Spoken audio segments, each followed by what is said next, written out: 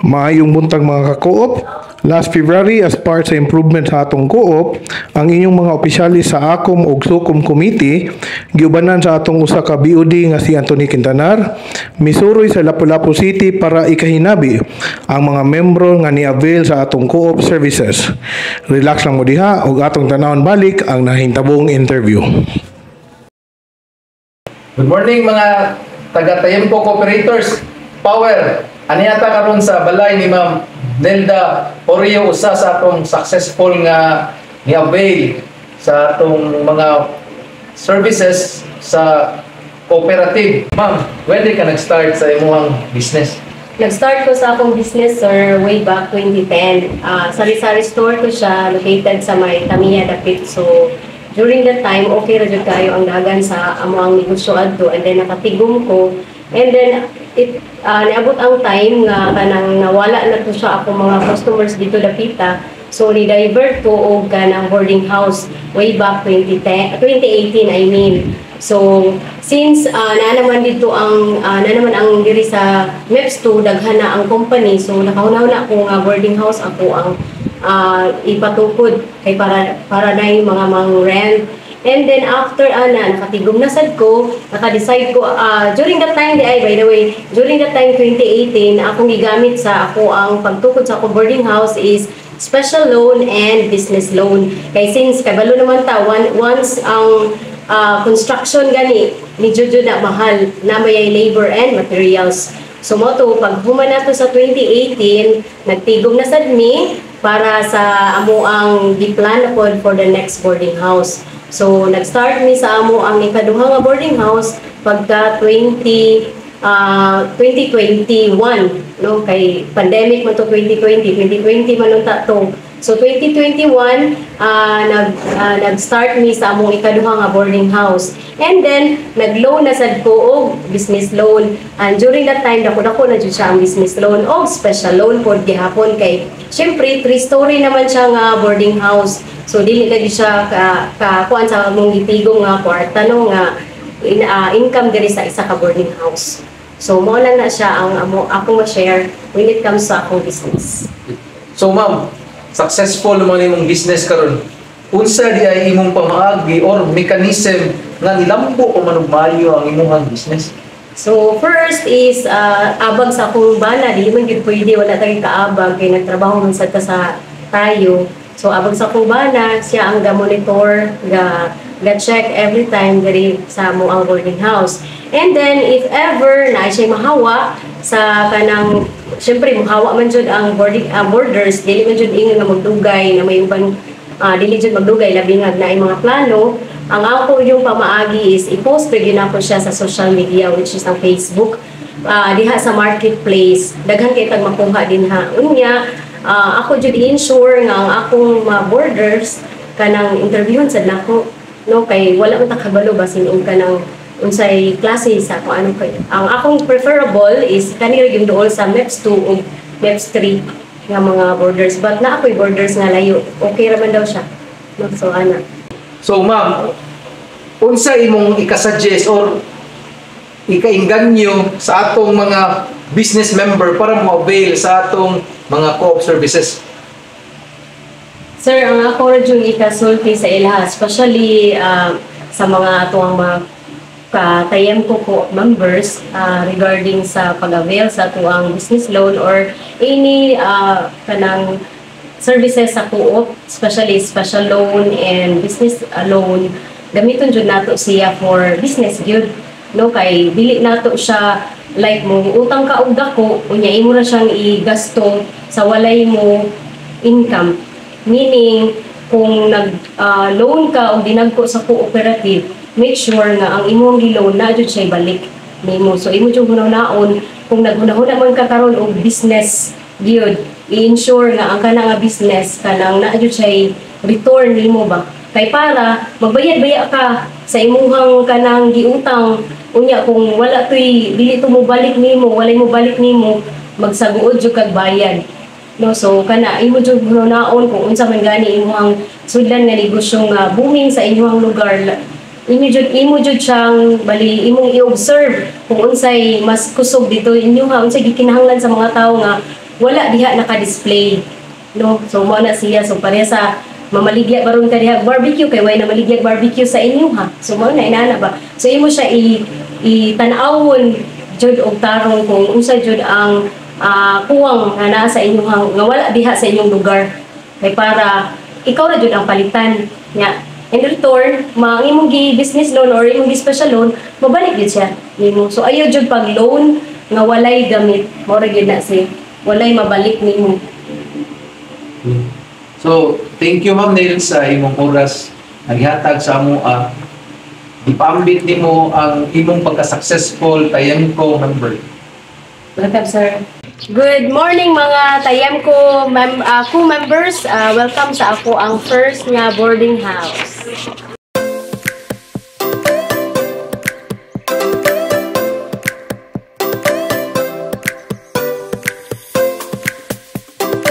So, mani siya ang mga rooms. Jadi ito siya. So, ang nara diri sa taas kay naalang sila ay lababo sa lababo para lutuanan. Muni akong ikaduha nga boarding house nga gi-build atong 2021. Dali sir.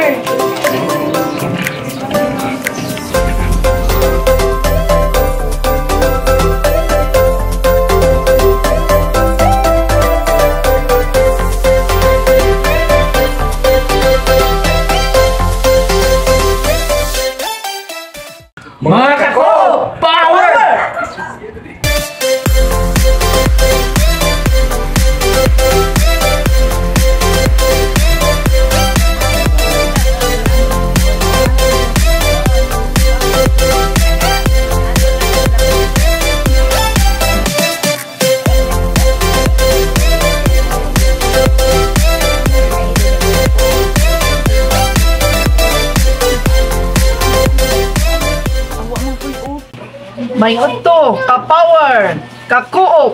Oh, ali karon kita sa balay ni Liday nga taga Suba Basbas. Karon makita diri ang iyang tindahan nga usa sa nasugdan sa kung wala ang coop wala sa ang tindahan. So ato ni siya interviewon karon ah nganong nilambo ang iyang tindahan ug kanus asad siya na nagsugod. Unsa imong business? Sari-sari store. Ngano naka-decide man ka nga sari-sari store imong business? Nindot man ang sari-sari store kay daghan man kong mga kasilinganan diri. Kung halin jud ang sari-sari store nako. Ah, uh, sa man imo pag-manage sa imong business nga hatod karon nilambo o nag na steady imong negosyo. Dili man ko magpautang unya minusad ang ako ang mga baligya. Gagmay ra og patong ang ako mga baligya. So unsa may imo ika-suggest o ikainganyo sa ubang mga membro nga mag-business sila? Pangloan jud mo og business. Kay nindot ang business gamay rag interest. Mm, gamay rag interest nindot jud og mag-business mo. Kay aron matab matabangan ang inyong pamilya. Pagbuhat ang mga tindahan pag saan pa natin natin Tapos sa mga mas bawon sa mga apo. dili oy ituyok jud niya ang iyahang i-business ituyok jud Kwarta. o ang kwarta ipatuyok jud ang kwarta nya dili jud ka magpautang mm. tarungon jud nimo da ang imong kwarta aron mulambo na ang imong kwarta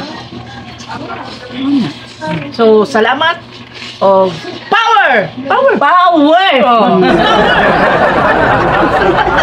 Mga katayin ko! Power!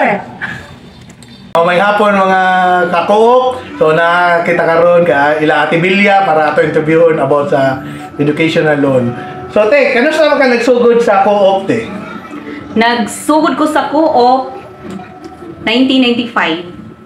1995. So member ka na 1995 ka. Yes, sir. Member So, na ko. sa mong nabawaan te, so niabil ka sa educational loan. So, kano sa mga nagsugod anang educational loan sa co-op?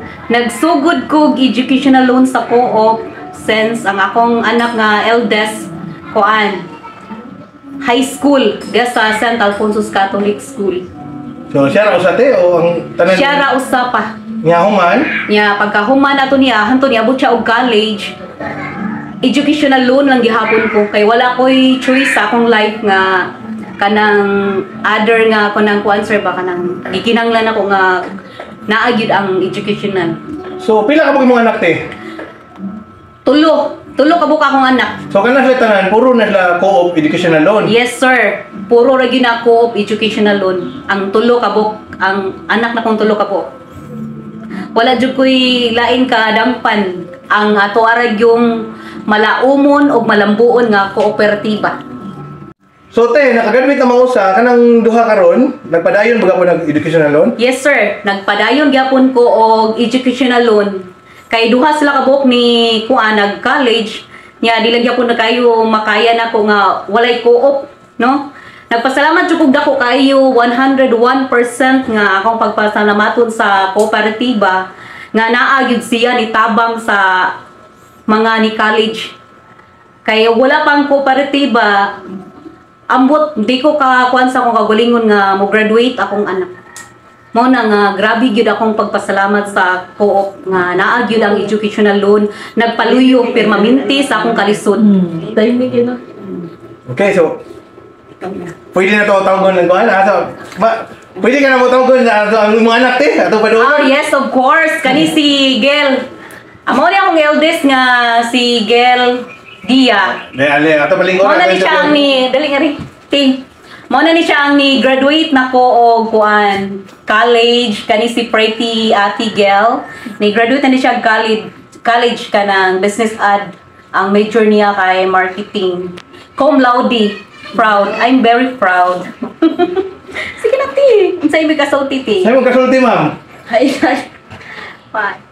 Thankful ko sa time ko kay na sila ani nga program which is kanang big help for para sa like sa mga family nga who is not wealthy enough to kanang have kanang sa galing nga education. So, te, sa atong last na question, te, unsa may mo ma... Unsa yung mga message mo magkapainggan nyo sa ubang mga member para mo abilan ng educational loan? Ang ako ra yung ikasulti nga dili gyud magpawalag paglaom nga as member ka sa kooperatiba na to ayaw gyud mo pagpakawala sa paglaom nga dili maka-eskwela inyong anak kanang dili gyud i-stop ang inyong kanang kuan ba inyong Damgo. pangam pangandoy ug damgo mintras naa pa ang atong kooperatiba 101% gyud na para nako nga ang kooperatiba nato nagpaluyo permanente sa akong mga anak nga naabot gyud taon og college mo na nga dako jud kay kog pakasalamat sa ato ang kooperatiba big thanks gid kaayo Katayin ko Cooperative Power! So, good afternoon. Kanang naaday mi karon nga ri sa balay nilang Sir Marlon. Ah, nag-check ni since si Sir Marlon usa ni siya sa ah kuan na to sa co-op member. So, nag-check ni sa iyang mga improvement sa iyang balay. So, Sir Marlon, kanang nami mga questions nimo nya kuan lang tubag lang kung unsay imong dapat matubag so Sir Marlon ang first na mong pangutan when day ka nag-start sa PUO Ah, kuan ma'am. 2011 na-hire ko sa ko. 2011 then kani na improve man ni inyong balay kanus amo ka naka-start nga sa imong kuan nga mag improve na ka sa imong balay unsa ang year nagsugod ani Actually, it is a long process. Ah, tingali na kuan ko ni naka before ko lisod out, lisod ko sa ko, ah, before ko lisod sa ko, ang ako ging gi-driver gi sa akong lang patukod ni balay kay ang among balay mo sa una marka mi may pinagabat balay sa mga bay. Ako ging gi kuan gi long term goal na within 10 years kailangan makabalay ako yung ani.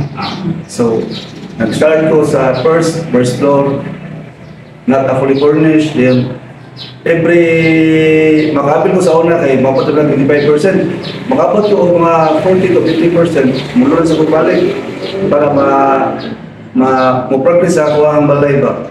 Until nga niabot yun siya pingaron. I think murag 7 years or 8 years din ako na na ingunan niya akong balay. ah nya unsa may mga loans nga imong gipang avail siya Niapil ko o kuan special o educational loan. Nya, unsa may mong mga pamaagi nga ma ma ma, ma kuan gid nimo kani imong damgo. Nga ma kuan jud imong Actually, ang co-op yun, ako gisya ko ang co-op. Ah, ang sa co-op ang good, mulon ta sa co-op, lagi siya na mo balik. Unlike, kung ato ta sa mga private institution or lain nga kanang lending institution nga mura ang naging ang kuandra ang owner. Unlike sa to it is a win-win. Mo naging ang nag-loan ang nagpa-loan po na ko naging po which is kung ato siya balansihon wala na ang tanan nakabenepisyo ka kanang member sa benepisyo Ngayon, sir, ano sa may imong ikakuan sa uban nato nga members para maagnigid sila nga mag-loan sad sila para ikuan nila nga naasad sila yung ma kuan para sa nang kuan siya first kid uh, ato gini-impose sa paglingon ang self-discipline. So sa kung sa pa nakadako ato sweldo kung wala tayo self-discipline useless sa gyapon kay ang pag ang paghandle mo sa kwarta kung wala kay finan kung dili ka financially kanang literate wala gid kay mahimo kay for example lahat tayo bala nagko kayo sul ada ko suldo kay natay nindot ta posisyon. Pero mo expense nila according sa sa ilang level of satisfaction nga kanang sa ilang suldo which is kung imo gina siyang i imo na siyang ibadayon wala kay makadulungan hit. Sige lang ka kanang laag or sige lang ka enjoy enjoy the day enjoy the night which is wala kay wala kay makita in the in the long run. So, karon thank you kay Sir Marlon sa pagtubag nimo sa among mga questions ug pag hope nga ang taga-coop nato nga mga members uh, mura sad sila ma Ah, uh, inganyo sad sila sa mga unsay nang abot sa atong ubang kako nga member. So, thank you Sir Marlon. Mama, kayo ko ko. Power!